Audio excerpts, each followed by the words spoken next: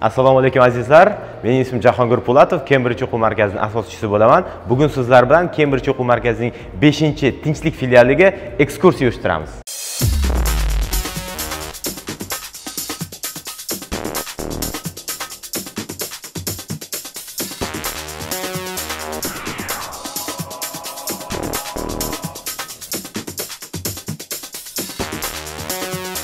Ko'rib turganingizdek tinchlik filiali kembrij o'quv markazining 5 filiali bo'lib bu e, hudud jihatdan 600 kvadrat metrga yaqin joyni o'z ichiga oladi. Bu e, o'quv markazimizda e, ochishdan oldin juda harakat qilib dizayn trendlari bo'yicha eng oxirgi nuqtalarga chiqishga harakat qildik. Shu bilan birgalikda bu filialimizda asosiy fokus o'quvchilar uchun qulayliklar yaratishga qaratilgan. Hozir birgalikda ofis bo'ylab sayohat uyushtiramiz. Biza hozir turgan hudud bu reception qism hisoblanadi. Ya'ni kutish zali bilan reception birgalikda. Bu hududga ham biz juda katta joy ajratdik. Chunki bundan oldingi filiallarimizda orttirilgan tajribaga ko'ra e, kirish zali katta bo'lishi kerak. Bu o'zimizni e, o'sha kembridj e, o'quv markazini standartlaridan biri hisoblanadi.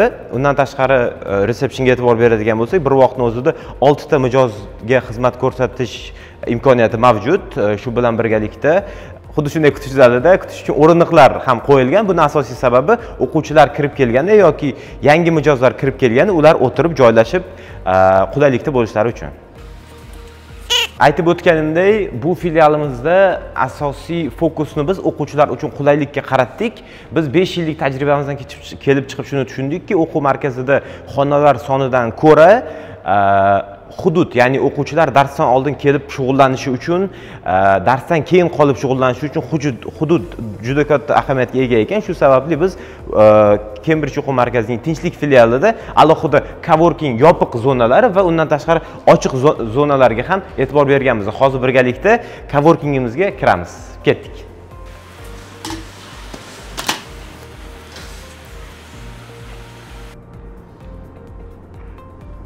Coworking zonamiz bir vaqtni o'zida 40 kishi uchun mo'ljallangan bo'lib asosiy bu zonani funksiyasi tadbirlar bo'ladigan payt bu zona yopilib yopiq ko'rinishda tadbirlar o'tkazsa bo'ladi. Undan tashqari o'quvchilar darsdan oldin yoki darsdan keyin Э, vaqtlari bo'lsa kelsalar ular bu e, hududdagi qulayliklardan bepul va cheklanmagan vaqt miqdorida foydalanishsa bo'ladi. Ya'ni e, bizda o'quvchilar tomonidan juda ham ko'p e, talablar bo'ladi. Ya'ni darsdan oldin yoki darsdan keyin ular misol uchun uyga borib kelish ular uchun noqulay bo'lganligi sababli ular o'quv markaziga kelib shug'ullanishni xohlashadi. Shu sababli biz o'quvchilarimiz uchun xuddi shunday qulayliklar yaratdik. Endi hozir sizlar bilan birgalikda e, keyingi ochiq zonamizga o'tamiz e. bu ochiq zonamizni e, funksiyasi ham xuddi coworkingga o'xshab o'quvchilar darsdan oldin va keyin shug'ullanishi uchun yaratilgan. Bu yerda ham bir vaqtning o'zida o'ttizga o'ttizga yaqin o'quvchi o'tirib mashg'ulotlardan oldin shug'ullansa tayyorlansa bo'ladi. Bu filialimizda umumiy hisobda 12 ta xona mavjud bo'lib 9 tasi o'quv xona 3 tasi bizning xodimlar uchun xona hisoblanadi. O'quv xonalarga kirishdan oldin bu xonaga e'tibor berishingizni xohlardim. Bu xona o'qituvchilar uchun alohida xona. Bu yerda o'qituvchilar e, darsga tayyorlanishlari yoki o'zlari uchun kerakli bo'lgan e, tarqatma materiallarni e, chiqarishlari mumkin. Bu yerda asosiy bu xonada asosiy funksiya funksional tarafdan Э, printer kompyuterlar mavjud bo'lib o'qituvchilar darsga aynan shu yerda tayyorlanishadi. Xuddi shunday bizda yana ikkita xona mavjud bo'lib e, uning bittasi dam olish xonasi va yana bittasi o'qituvchilar uchun yana bitta alohida xona hisoblanadi. Bunday xonalarning mavjudligi biz xohlardikki o'qituvchilar e, darsdan oldin yoki darsdan keyin o'zlari ham kelib dam olib darsga to'laqonli tayyorlanish uchun sharoit yaratib berishni shu sababli xuddi shunday imkoniyatlar o'qituvchilar uchun yaratilgan. Qani ketdik? Endi biz sizlar bilan e, xonalarga kirib ko'ramiz. Oldimizda turgan xona to'rtinchi xona. Keling bir kirib ko'ramiz bu xonadagi qulayliklarni. Bu xona 12 kishi uchun mo'ljallangan bo'lib e, stollarga ahamiyat berishingizni so'rardim. Chunki stollar shu tarzda qilinganki e, dars davomida o'qituvchi o'ziga qulay qilib mashg'ulotlardan kelib chiqib stollarni joylashtirsa bo'ladi. Undan tashqari e, bizda yana asosiy bu filialimizdagi e'tibor bergan e, nuqtamiz bu xonalarda oynalarning mavjudligi. Ya'ni biz ikki xonani o'rtasida katta oyna qoraytirilgan oyna qo'yganmiz. Buning asosiy sababi xona o'quvchilar dars mobaynida shug'ullanishayotganda ularga bosim o'tkazmasligi uchun. Bu shu bilan birgalikda bu qo'shimcha yorug'lik kirishini ham ta'minlab beradi. Bu bizning kembridj o'quv markazining Э, xonalar bo'yicha asosiy standartlardan biri hisoblanadi. Keling endi birgalikda boshqa xonalarga ham tashrif buyuramiz. Bu uchinchi xona. Bu xona hozir kirgan xonamizdan ozgina kattaroq. Э, bu xona 14 kishi uchun mo'ljallangan. Bu xonada asosiy ranglar sariq va to'q e, kulrang ranglardir. Bunday ranglarni tanlashimizning ham asosiy sababi bor. E, biz o'quv markazimiz dizaynida modern loft ya'ni zamonaviy loft stiliga e, ozgina yaqinroq bo'lgan shu bilan birgalikda yorqin ranglarni o'z ichiga olgan stilni tanlaganmiz. Buning asosiy sababi bizning auditoriya ya'ni bizning o'quvchilar bizning mijozlar psixologiyasidan kelib chiqadigan bo'lsak biz tanlagan ranglar ularga eng yoqadigan ranglar ro'yxatiga kiradi. Bu ranglarga asosan qizil ko'k sariq va to'q kulrang ranglar kiradi. Ketdik. Keling birgalikda oltinchi xonaga kirib ko'ramiz. Oltinchi xonamizda biz mana e'tibor bersak yashil rangdan foydalanganmiz bu ham bizning auditoriyaga bizning mijozlarga yoqadigan ranglardan bittasi. Undan tashqari biz e, xonalarni dizaynni tanlayotgan paytimiz shu narsaga e'tibor berganmizki misol uchun e, o'quv doskasi turgan hududda oq rang ko'proq bo'lishi kerak. Chunki agar bu yerda boshqa rang qiladigan bo'lsak e, dars vaqtida o'quvchilarga bosim o'tkazishi mumkin ularni e'tiborini ko'p tortishi mumkin. Shu sababli ularni fokusi faqatgina doskada bo'lishi uchun biz e, doska qo'yilgan hududda oq rang qoldirishga harakat qilganmiz barcha xonalarda. Bundan tashqari yana e'tibor beradigan bo'lsak xonalarda e, ranglar kombinatsiyasidan foydalanilgan ya'ni faqatgina bitta rang emas yoki bir nechta rang va ularni misol uchun yashil rang bo'lsa yoki to'q rang rang bo'lsa ularni bir necha bilamizki bir necha xili bor. Bizlar bizlar agar xonalarda misol uchun e'tibor bersak har xil ranglar kombinatsiyasidan foydalanilgan misol uchun yashil rang yoki e, kul kulrang bo'ladigan bo'lsa hammaga ma'lumki bu rangni juda ham ko'p turi bor. Biz ularning ichidan eng e, e'tiborni tortmaydigan va shu bilan birgalikda e, rus tilida спокойный цвета deyiladi. Ya'ni o'sha bosiq bo'lgan ranglarni tanlashga harakat qildik. Buni asosiy sababi o'quvchilar dars mobaynida e, ingliz tilini o'rganayotgan paytda ularga bu ranglar e'tiborini tortib ularni dars protsessidan chalg'itmasliklari uchun. Bu shu ranglarni tanlashimizning asosiy sababi. Ketdik. Xonalarning joylashuviga e'tibor bersak e, bundan oldingi filiallarimizda devorlar faqatgina bir bir chiziq bo'ylab joylashgan lekin bu filialimizda agar bu yerdan olib qaraydigan bo'lsak e, har xil siniq chiziqlarni ko'rishimiz mumkin. Ya'ni ofis e, bizning mana shu mana shu filialimizda biz noodatiy yondashuvni qo'llab ko'rdik ya'ni bu yerda xonalarni joylashuvi ham xonalarni e, sig'imi ham undagi odamlar soni undagi e, misol uchun jihozlarni soni bu barchasida biz noodatiylikka intilishga harakat qildik. O'ylaymanki bu narsa bizani qo'limizdan keldi.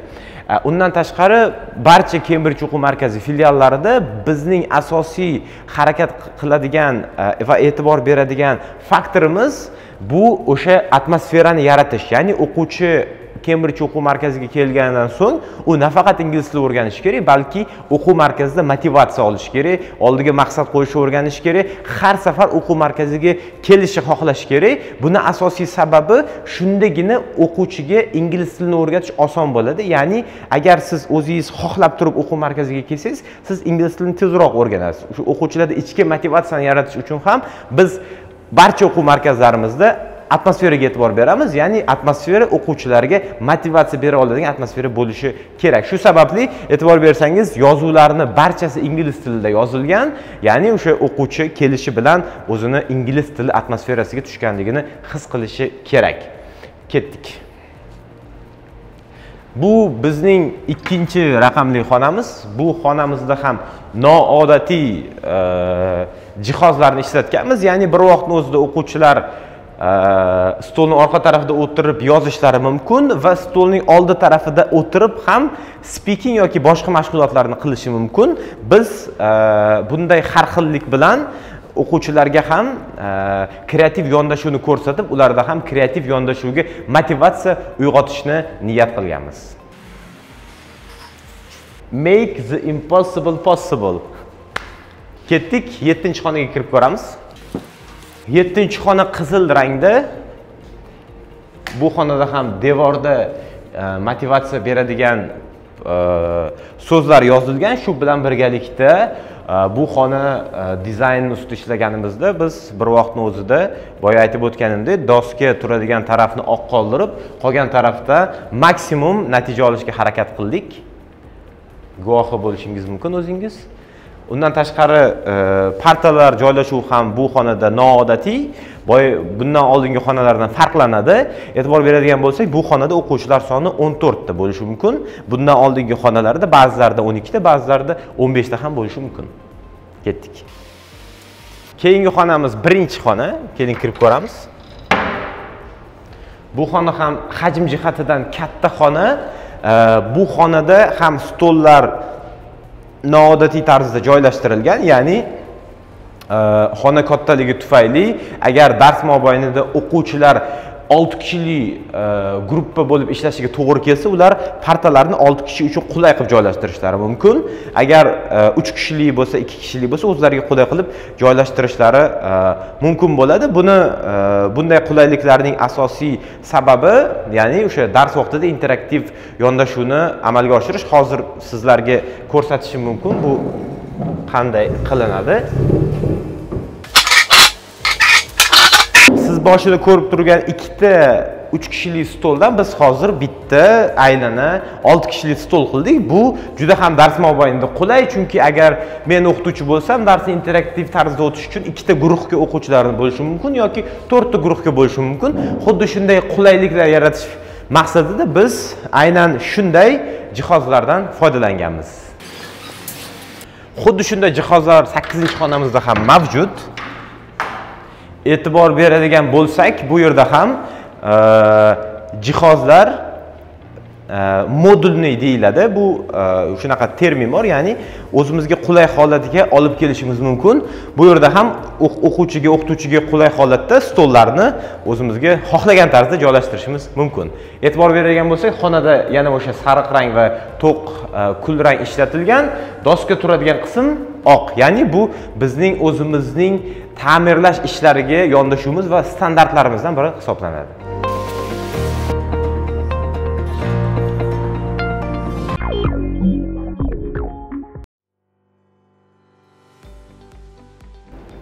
Man biznesga yigirma yoshimda kirib kelganman.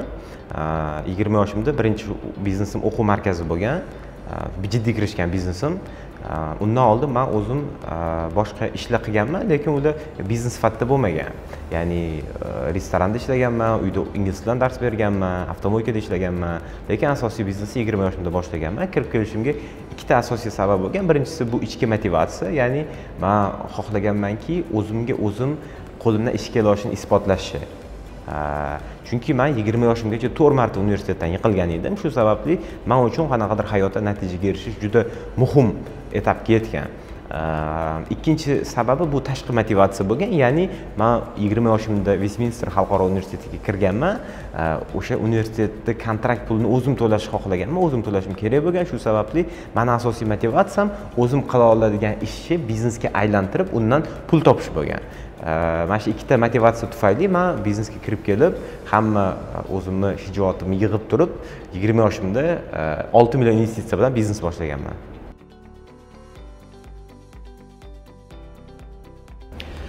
Kemirchi o'quv markaziga hozirda e, e'tibor beradigan bo'lsak bizni Э, katta korxona darajasiga yetdi deb o'ylayman chunki bir yuz ellikka yaqin xodimimiz bor uch mingdan ko'p o'quvchi o'qiydi beshta filialimiz bor dekabr oyida oltinchi filialni ochish niyatidamiz e, shahar markazida. Э, lekin bunga yetib kelishimiz э, bittada bo'lmagan ya'ni biz besh yildan beri shu sohadamiz. Birinchi o'quv markazi ochilganda ikkita xodim bo'lgan man va yana bitta o'qituvchi. Man ham o'qituvchi ham menejer ham kassir ham administrator vazifalarini bajarganman bir vaqtni o'zida ham o'qituvchilik ham qilganman. O'sha ikkita xodim qirqtacha o'quvchi darajasidan besh yil ichida biz mana shunaqa katta korxona darajasiga chiqdik. Man o'ylaymanki xudo xohlasa bir yana bir besh yillardan keyin bu ko'rsatkich o'n baravarga ko'payadi.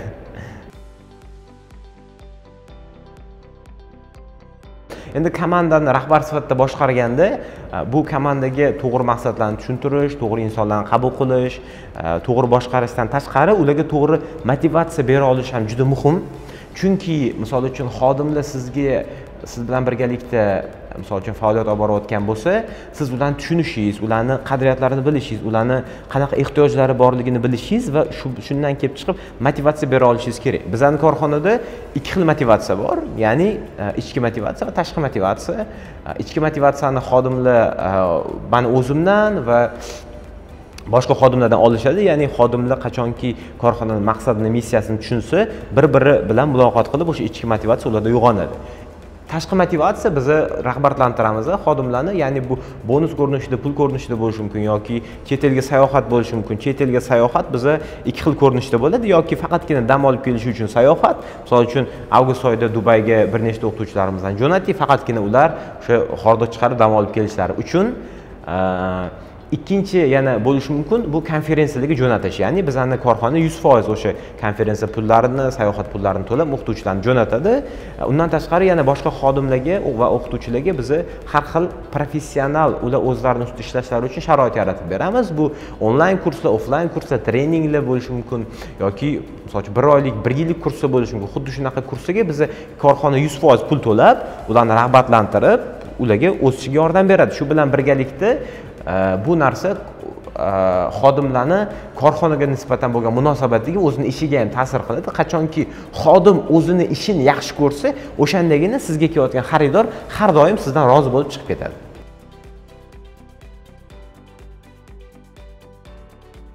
Mandan juda yam ko'p so'rashadi instagramda facebookda telegramda. Jahongir aka man ham o'quv markazi ochmoqchiman nima maslahatlar bera olasiz deb man hozir mana shu video orqali o'sha o'quv markazi ochmoqchi bo'lganlarga maslahat bermoqchi edim.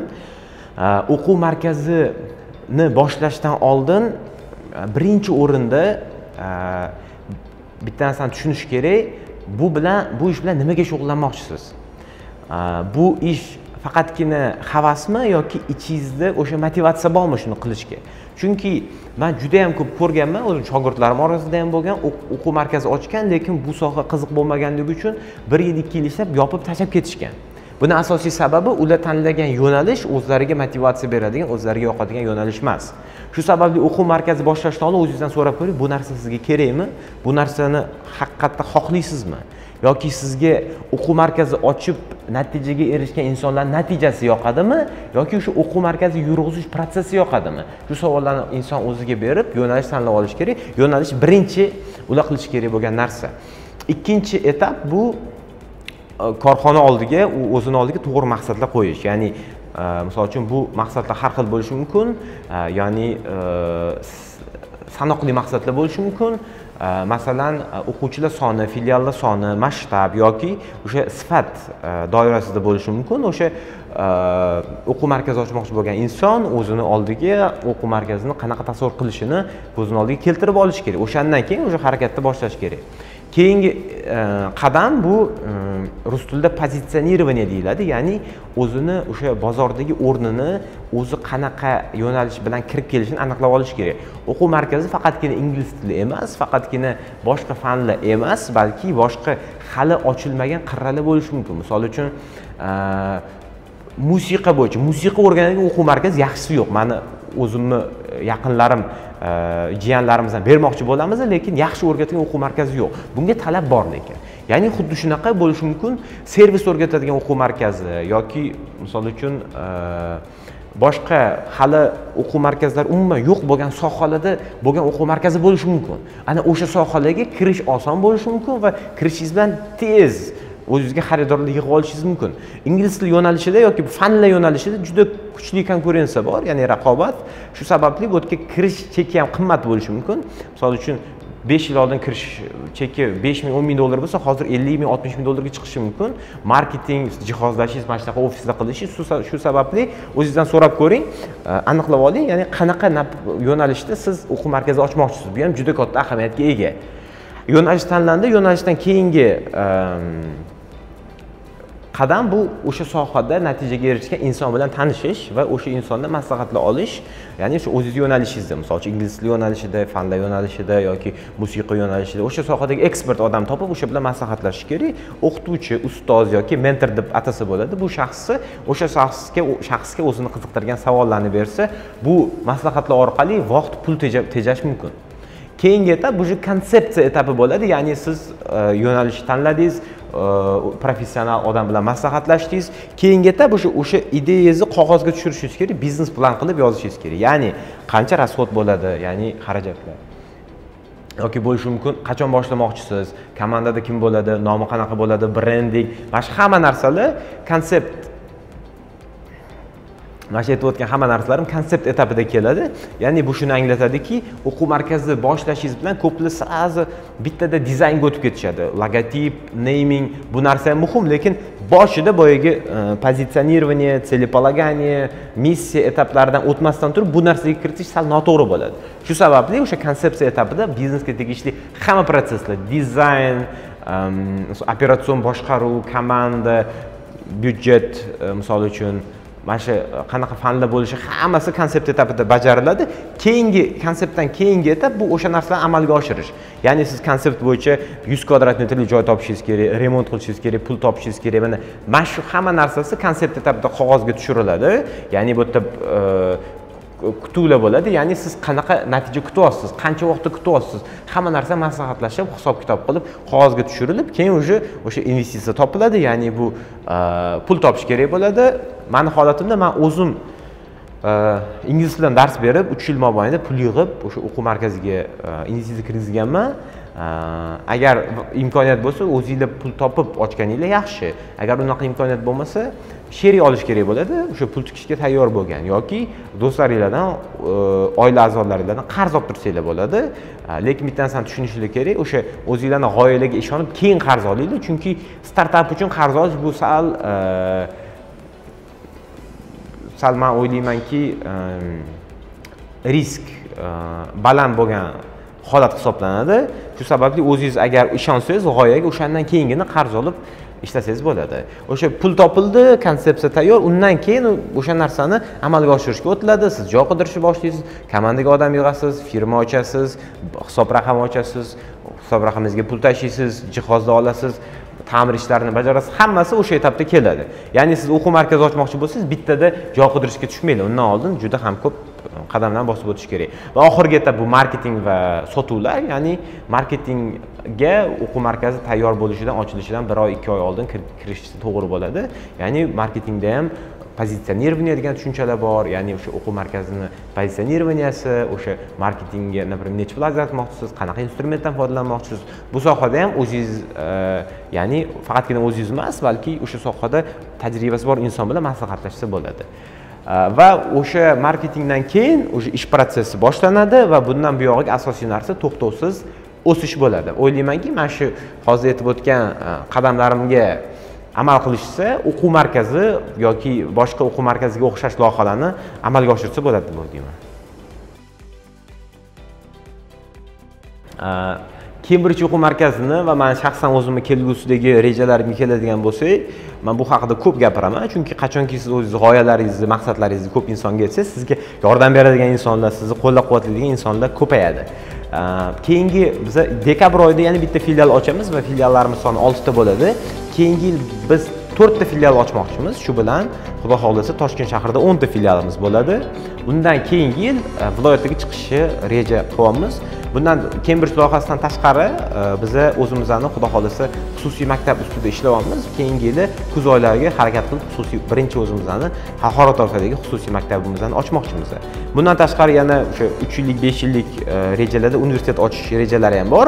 Xudo xohlasa vaqt kelsa ko'ramiz. Barchalarni o'sha biza bizada bo'ladigan ochilish marosimlariga taklif qilaman. Kembrij o'quv markazining instagramdagi sahifasini topib unga a'zo bo'lsanglar o'shanaqa bizadagi yangiliklarni kuzatib borsanglar bo'ladi. Biznes rivoji loyihasiga va taklif qilganingiz uchun katta rahmat.